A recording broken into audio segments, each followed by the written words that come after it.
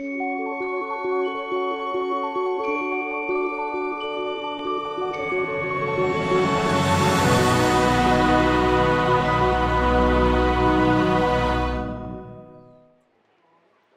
our country is facing some serious challenge like security, drought, pirate, and political turmoil. But we have another major challenge that we are facing today, and it's unemployment.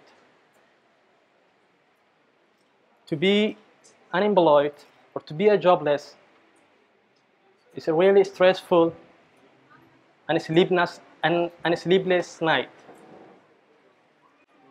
Five years ago,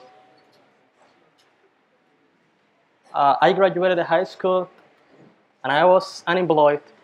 I was a jobless. Then I couldn't find a job. I look, I look a job, then I couldn't find. Then I decided to leave this country, to immigrate. But to leave to where? I decided to go to Yemen, one of the poorest nations in the Arab world. In summer 2009, I hit the road to Yemen to immigrate. So I took a dangerous a serious risk. I arrived in Bosaso. I wanted to cross that, that sea, Gulf of Aden, to reach Yemen, to get a job, and to leave that place. So when I arrived in Bosaso, I met a group of Somali smugglers that they take the people from Bosaso to Yemen. And they're using this boat. Very dangerous. I negotiate with them. Then we finally agree that I'm going to pay $70 and then they will take me to Yemen. Then at the night, they take me to the beach then I enter the boat. Not this boat exactly, but something like this.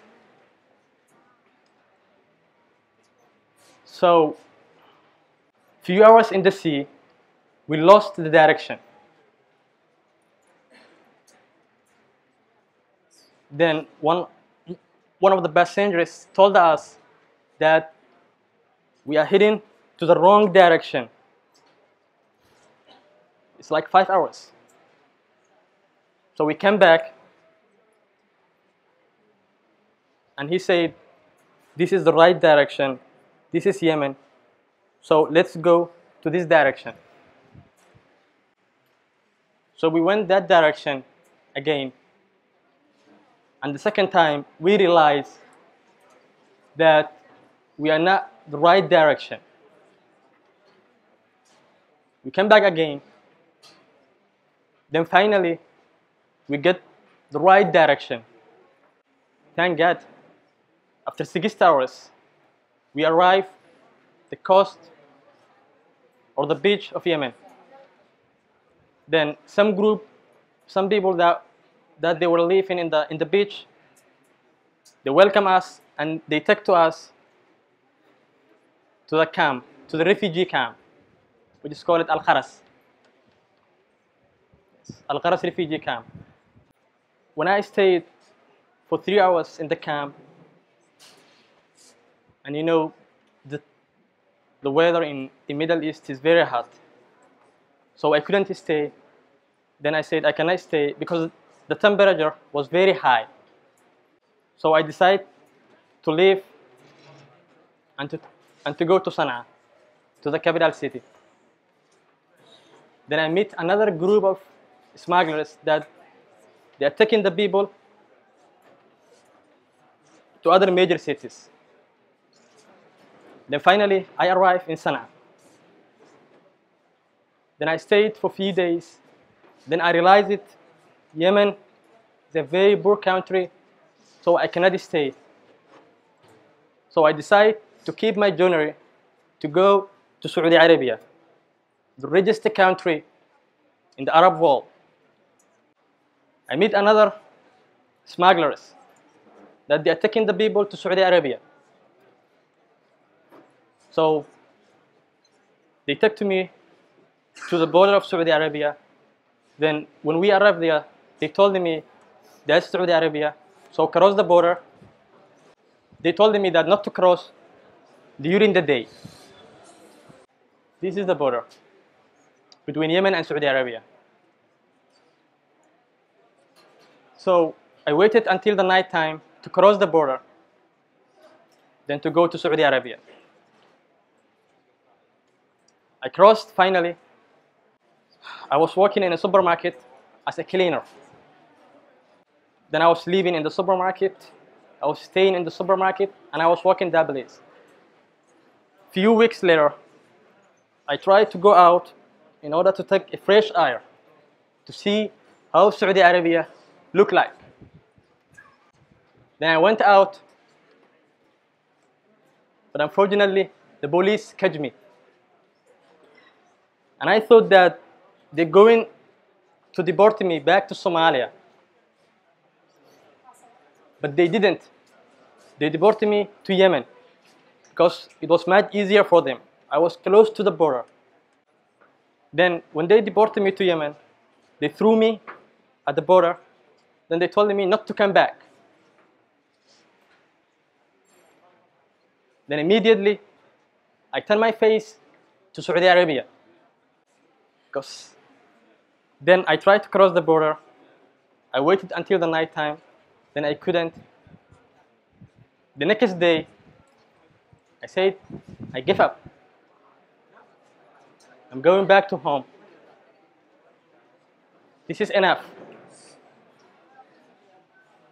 So I came back to Sana'a. When I came to Sana'a, I called my father. At that time, he was living in Somalia. So I said, Dad, I give up. I want to come back home. So I said, I need some money. Then he said, No, you left the country without my permission. So he said, I'm not going to help you. Live your own life.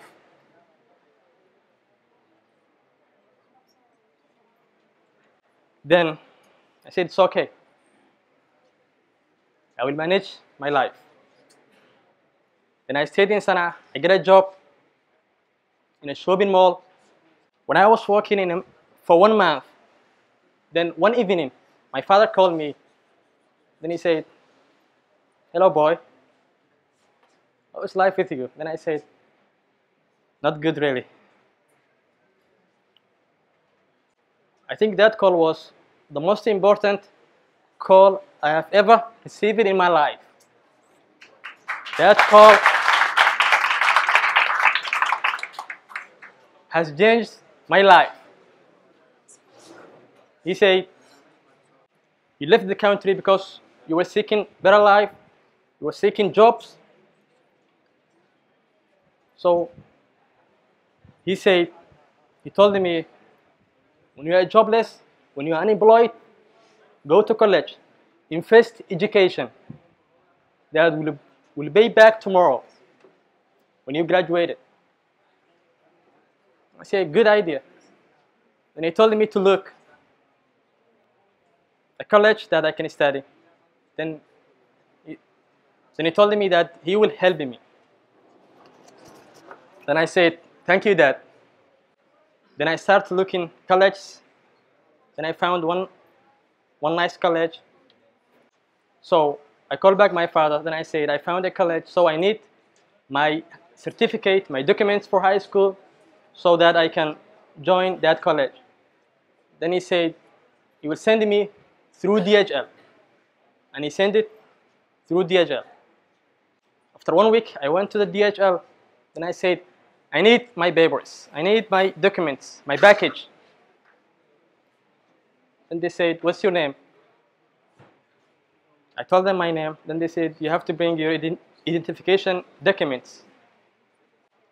And I was not having any documents because I was staying in Yemen as illegal refugee. Then I decided to go back to the camp, Al Kharas refugee camp, where I stayed before, in order to register and to get the documents to become a legal legal refugee. So I went the camp and I register it and they give me an ID card that says Sadik is a refugee in Yemen. I came back to the DHL, then I show them my ID, my identification card, then they give me my package. Then I started my college and I was majoring in, in international business. Finally, after four years, I graduated. I aimed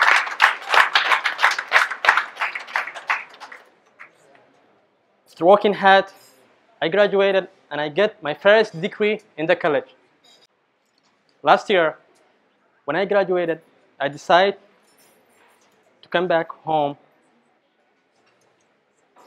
and to help my people. When I came back home, everyone was very happy, especially my family. Then my father, he said, he, the day I come, welcome home. Then he was calling to his friends. Then he was saying, my son is a graduate.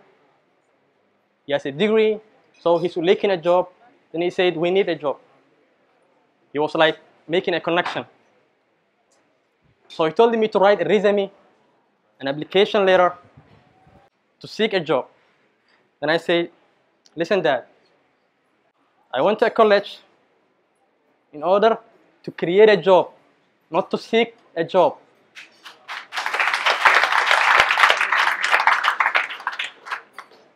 I studied four years in a college to help the youth, to create jobs, to create opportunities. Not someone will hire me. And the reason I say was that because I left this country, I immigrate, I take a risk because I was a jobless. So if I don't create a job, the other youth will take the risk that I took it. They will suffer the way I suffered. So on July this year, I started my own business with the help of my friends. I opened a diagnostic center. It's called Bahnano Diagnostic Center. And it's the first diagnostic center in Mogadishu.